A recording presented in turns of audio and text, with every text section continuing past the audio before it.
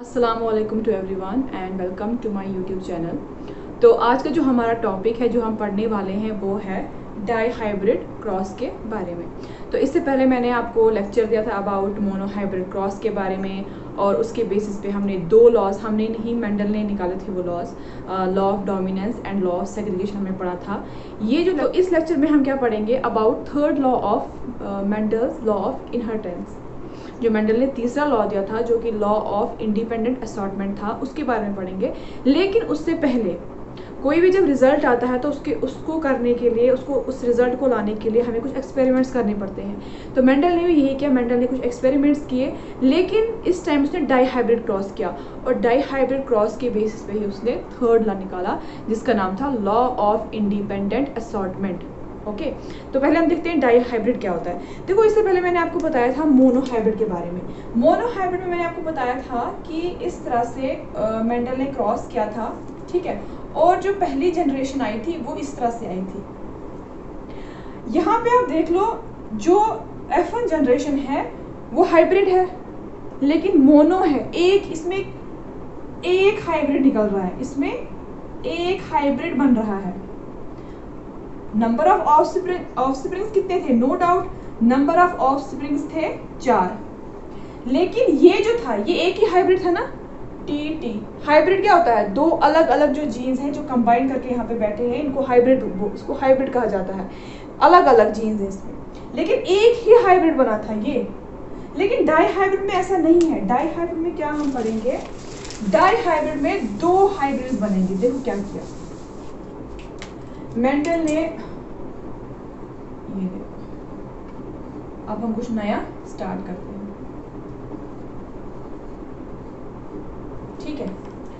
Mendel ने दो plants लिए पी प्लांट्स में, जिसमें उसने दो कैरेक्टर्स कैरेक्टर्स को स्टडी किया। दो कैरेक्टर्स देखे उसने। एक राउंड सीड राउंड सीड थे उसमें पी में, और येलो कलर के सीड थे उस पी प्लांट में। उसको क्रॉस किया दूसरे प्लांट के साथ जिसमें रिंकल्ड थे। क्या थे? रिंकल इसमें राउंड थे और येलो राउंड थे इसमें सीड्स और क्या थे? येलो सीड्स थे। लेकिन इसमें क्या था? इसमें रिंकल्ड सीड्स थे और उनका कलर जो था वो था ग्रीन क्या था? ग्रीन जिसको हम डिनोट कर रहे हैं स्मॉल वॉइस से। क्योंकि ये जो कैरेक्टर्स है डोमिनेंट कैरेक्टर्स है इसलिए हमने इसको कैपिटल फॉर्म में लिखा। और ये जो है रिसेसिव कैरेक्टर्स है इसलिए हमने इसको स्मॉल लेटर्स में लिखा है ठीक है? ये सीड्स हैं।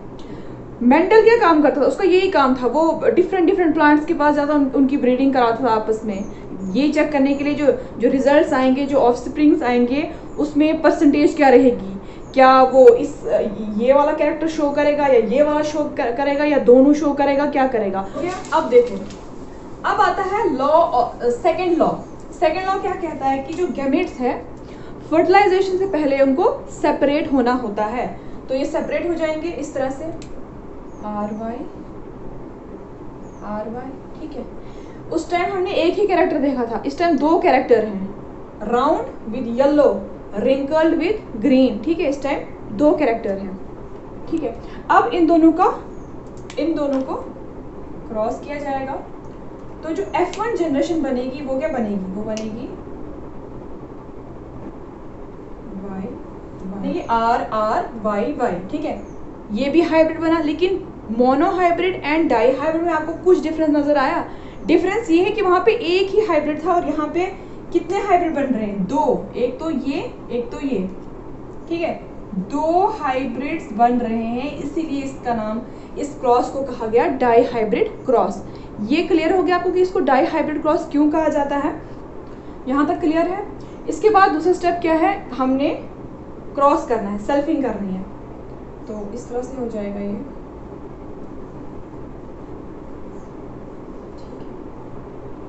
लेकिन अब यहाँ पे तो गैमेट्स बन गए, अब इसके भी गैमेट्स जो है सेपरेट होंगे। अब ये जो है, ये पहली जनरेशन है, ठीक है? पहली जनरेशन को हमने सेल्फिंग करवाई, अब देखते हैं इसके गैमेट्स बनेंगे, ठीक है? अब देखो, अब यहाँ पे ध्यान से एक बात समझना, ये जो है, जब इसकी गैमेट्स बनेंगे जब इसके गैमेट्स बनेंगे, ये मोनोहाइब्रिड जिस तरह से मोनोहाइब्रिड क्रॉस में देखा हमने सिंपली जो है गैमेट्स बन गए। उस तरह से नहीं है, उतना सिंपल नहीं है। यहाँ पे देखो, यहाँ पे चार फोर केसेस बनते हैं। वो कैसे? देखो, ये जो आर है, ये इसके साथ भी बना सकता है ऐसे gamete R Y R Y ठीक है, ऐसे ऐसे। फिर ये जो है स्मॉल आर इससे, ये ऐसे। क्योंकि यहाँ पे दो कैरेक्टर्स हैं, ठीक है? दो कैरेक्टर्स हैं यहाँ पे। तो जो चांसेस हैं, जो गैमेट बनने के चांसेस हैं, वो चार हैं। या तो आर वाई के साथ मिलेगा, या ये कैपिटल आर जो है स्मॉल वाई के साथ मिलेगा, या स्मॉल आर जो है कैपिटल वाई के साथ मिलेगा, या स्मॉल आर जो है वाई के साथ मिलेगा। स्मॉल मतलब मर्ज़ी है इसको। इसको मर्ज़ी, इसके साथ जुड़े, इसको मर्ज़ी, इसके साथ जुड़े, इसको मर्ज़ी, इसके साथ, इसको मर्ज़ी, इसके साथ। मतलब कोई वो नहीं है प्रोहिबिशन नहीं कि इसको इसी के साथ जो है बनाना है गैमेट इसको इसी के साथ स्मॉल आर को स्मॉल बाई के साथ ही गैमेट बनाना ज़रूरी है, ऐसा कुछ नहीं है। तो यहाँ से ही आप देख लो, हमारा जो थर्ड ला है, यहाँ से डिराइव हो जाएगा। ठीक है? उसी तरह से सेम यहाँ पे भी ऐसी कंडीशन होगी। यहाँ पे भी इसी तरह के गैमेट्स चार जो हैं, वो प्रोड्यूस हो जाएँगे। ठीक है, इस तरह से। इस तरह से। यहाँ पे चार और यहाँ पे चार ओके अब हमने मोनोहाइब्रिड में फिर क्या, किया था हमने प्यूनेट स्क्वायर बनाया था, जिसमें हमने देखा था कि किस तरह से जो है फर्टिलाइजेशन होती है गैमेट्स की, क्योंकि उससे जो है इजी हो जाता है मतलब वो कन्फ्यूज़न क्रिएट नहीं होता है। तो सेम हम इसमें भी करेंगे, देखो, ये जो गैमेट्स हैं, इनके साथ फ्यूज करेंगे। ये एक प्लांट है, ये दूसरा प्लांट्स है, ये इसके गैमेट्स हैं, ये इसके गैमेट्स हैं अब ये गैमेट्स जो है आपस में फ्यूज करेंगे। अब जो है मेंडल को ये देखना था कि आफ्टर फ्यूजन जो है, जो नेक्स्ट जनरेशन होगी, जो एफ़ टू जनरेशन होगी, उसमें परसेंटेज क्या रहेगी? राउंड कितने होंगे रिंकल कितने होंगे, वो सब हम देख लेंगे प्यूनट स्क्वेयर में। तो ये पहले मुझे नोट करना पड़ेगा। यहीं से हमारा तीसरा लॉ भी जनरेट होता है कौन सा? ऑफ़ इंडिपेंडेंट असॉर्टमेंट ठीक है? ये इंडिपेंडेंटली ये असॉर्ट हो गए ठीक है? इन पे किसी का दबाव नहीं है कि ये इसी के साथ जो है गैमेट बनाया इसे ये इंडिपेंडेंटली असॉर्ट हो जाते हैं तो ये देख लो, ये है डेफिनेशन ऑफ़ थर्ड लॉ की। Alleles of genes located on different chromosome assort independently of each other देखो, ये जो एलियल्स है एलियल्स का क्या मतलब है? एलियल्स का मतलब है ऑल्टरनेटिव फॉर्म ऑफ़ जीन ठीक है ये राउंड है ये रिंकल्ड है जो ये देखो ये आ, ये येलो है ये ग्रीन है ठीक है। Alleles of genes locate on different chromosome अलग अलग क्रोमोजोम पे लोकेट है ठीक है। Assort independently of each other ठीक है। ये जो है ये इसके साथ भी असॉर्ट हो सकता है ये इसके साथ भी जा सकता है ठीक है। क्या बनाएगा ये? आर वाई तो इस डेफिनेशन का यही मतलब है ना? कि ये जो है एलीज जो लोकेट हैं डिफरेंट क्रोमोजोम में, ये इंडिपेंडेंटली असॉर्ट हो जाते हैं, ठीक है? आर वाई ये इसके साथ भी जा सकता है, ऐसा कोई नहीं कि इसी के साथ बनाएगा इंडिपेंडेंस है, यहाँ भी जा सकता है। मतलब इसके लिए इंडिपेंडेंस है ना, कि चाहे यहाँ जाए, चाहे यहाँ जाए। इसके लिए भी इंडिपेंडेंस है, चाहे ये यहाँ पे जाए, चाहे ये यहाँ पे जाए। ठीक, हम देखते हैं प्यूनिट स्क्योर में कि किस तरह से फर्टिलाइजेशन होती है और इनकी क्या, इनका क्या रेशो रहता है।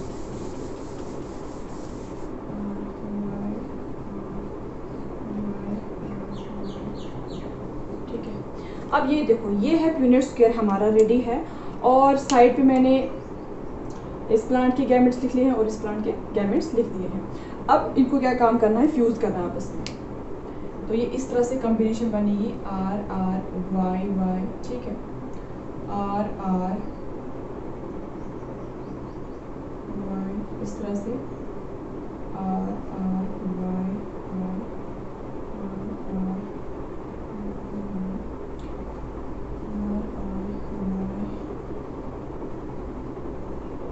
ये तो थोड़ा कम्प्लेक्स होता जाएगा। ठीक है?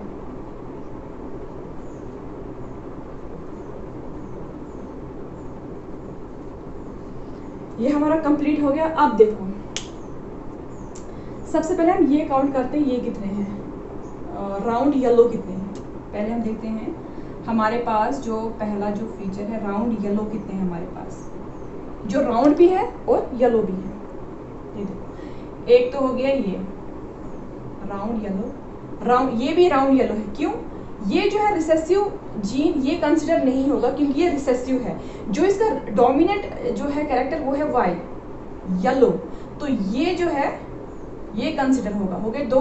ये भी है, देखो इसका डोमिनेंट आर है और ये डोमिनेंट वाई है कैपिटल वाई थ्री ये भी डोमिनेंट दोनों है। ये भी क्या, इसका जो फिनोटाइप इस प्लांट की शक्ल कैसी होगी? इसकी जो सीड्स होंगे, वो राउंड होंगे विद येलो कलर चार हो गए, ये भी होगा सेम एक, दो, तीन, चार, पाँच, ये नहीं होगा। देखो, ये राउंड होंगे, लेकिन जो कलर ऑफ़ द सीड्स होगा, वो क्या होगा? वो ग्रीन होगा, क्योंकि यहाँ पे ये जो है दैट इज़ ये रिसेसिव कैरेक्टर एक्सप्रेस हो रहा है यहाँ पे, दोनों में।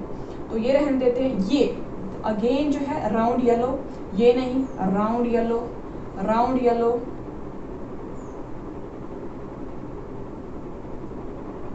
round yellow ठीक है अब कितने आ गए ये? राउंड येलो वाले। ये आ गए one two three four five six seven eight nine कितने आ गए? नाइन आ गए। अब हम देखते हैं। यहाँ से मतलब थोड़ा सिंपल हो जाएगा। राउंड ग्रीन जो सीड्स राउंड तो है, लेकिन ग्रीन है। दैट मीन्स आर है। मैं आप यहाँ पे ये लिख लेती हूँ आर है, लेकिन स्मॉल वाई इनका जो है कैरेक्टर जो है वो एक्सप्रेस हो रहा है। जीन इनका स्मॉल वाई एक्सप्रेस हो रहा है। अब देख। लो ये आ गया राउंड ग्रीन एक ठीक है। ये भी आ गया राउंड ग्रीन देखो डोमिनेंट यहाँ पे कौन सा जीन एक्सप्रेस हो रहा है? आर कैपिटल आर और यहाँ पे क्या एक्सप्रेस हो रहा है? ये वाला स्मॉल वाई जो कि ग्रीन ग्रीन कलर शो कर रहा है। एक, दो ये नहीं, ये देखो, ये हम कंसिडर नहीं करें, ये स्मॉल आर है स्मॉल आर मतलब रिंकल्ड हम राउंड देख रहे हैं राउंड ग्रीन तो राउंड ये वाला आ गया, तीन आ गए, तीन आ गए हमारे पास। तो राउंड ग्रीन कितने आ गए हमारे पास? थ्री अब हम देखते हैं राउंड येलो भी हो गया राउंड ग्रीन भी हो गया। अब हम देखते हैं रिंकल्ड अब हम देखते हैं जो रिंकल्ड है, जो किससे हमने डिनोट किया है? स्मॉल वाई से। ठीक है, ये हो गया कैपिटल आर ये हो गया कैपिटल आर ये जो येलो है, ये हमने किया है विद वाई से, ये स्मॉल वाई से। रिंकल येलो मतलब जो जीन है, वो इस तरह का होना चाहिए कैपिटल वाई तो देखते हैं हम कौन सा से ये देखो, ये आ गया रिंकल्ड स्मॉल आर हमने डिनोट किया था स्मॉल आर को विद रिंकल से. एक, दो थ्री एक, दो, तीन.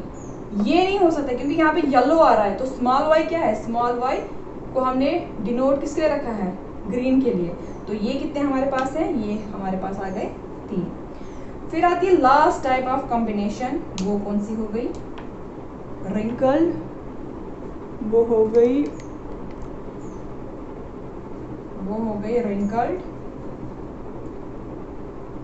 ग्रीन मतलब इसमें जो जीन है, उसको हमने डिनोट किया है आर से और ग्रीन को किसे किया है? स्मॉल वाई से. तो इस तरह की कॉम्बिनेशन आपको कहाँ दिखाई दे रही है? सिर्फ़ इस वाले में. तो ये कितना है? एक. तो मैंने आपको पहले कहा जो रिसेसिव जो है, वो इतने एक्सप्रेस नहीं हो पाते हैं. पहली जनरेशन में तो एक्सप्रेस नहीं होते बट सेकेंड जनरेशन में एक्सप्रेस हो जाते हैं. तो हमारा जो फिनोटाइप जीनोटाइप का रेशियो मैं नहीं बोल रही हूँ.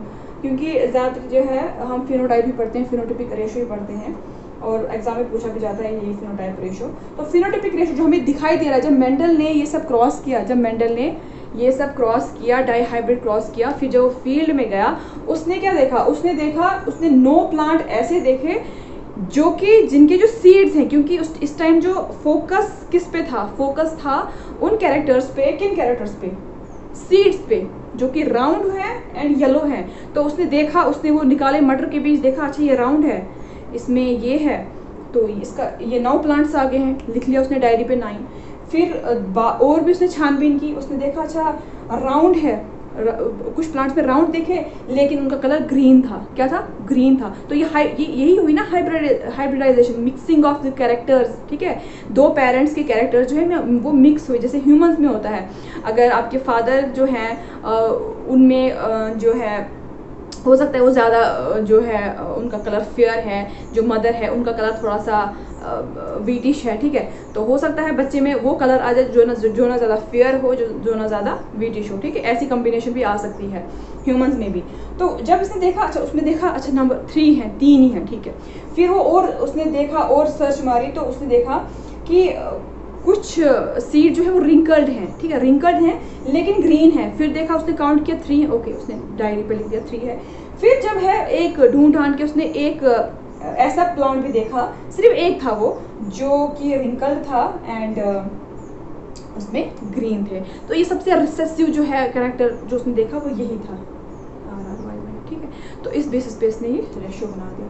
और जो ये लॉ जो जनरेट हुआ, जो ये लॉ जो बनाया लॉ ऑफ़ इंडिपेंडेंट असॉटमेंट मैंने आपको पहले ही बताया कि किस तरह से जो है जो गैमेट्स हैं वो असॉर्ट हो जाते हैं इंडिपेंडेंटली असॉर्ट हो जाते हैं विद ईच अदर जो जीन्स प्रेजेंट होते हैं किस तरह से एक दूसरे के साथ असॉर्ट हो जाते हैं वो मैंने आपको बता दिया ठीक है? तो आपको वो क्लियर हो गया? Law of independent assortment and this dihybrid cross के बारे में भी आपको पता चल गया। हाँ आज का टॉपिक अबाउट uh, जिसमें हमने जो डाई हाइब्रिड क्रॉस जो है और जो थर्ड ला है वो हमने कंप्लीट कर दिया।